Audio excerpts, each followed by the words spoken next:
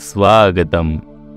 दोस्तों, Pragyan educational and charitable trust में आपका हार्दिक स्वागत है। सर्वे भवन्तु सुखिनः, सर्वे संतु निरामया।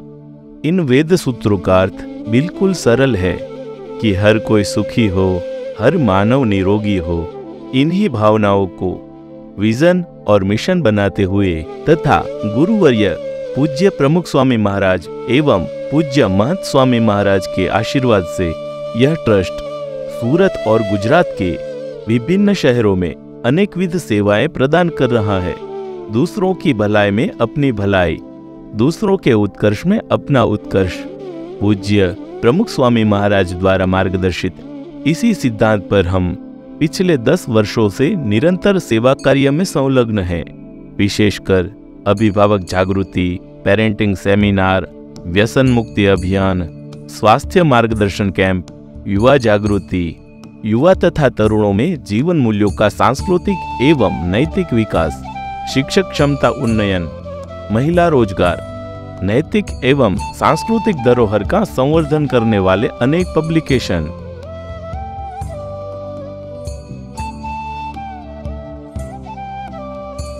जरूरतमंद बच्चों की शैक्षणिक सुविधाओं की परिपूर्ति आदि अनेकविध सेवाएँ करते हुए Pragyan educational and charitable trust ने सेवा के अनेक अवसर प्राप्त कर धन्यता का अनुभव किया है।